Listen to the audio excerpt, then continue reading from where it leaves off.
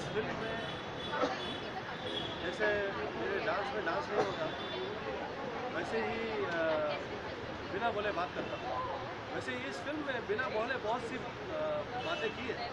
और ऐसे कई सामाजिक आपको नज़ारे देखने मिलेंगे, जिसका आपको इसमें एक अलग तरीके का नज़रिया देखने मिलेगा नज़रिया आप देखेंगे।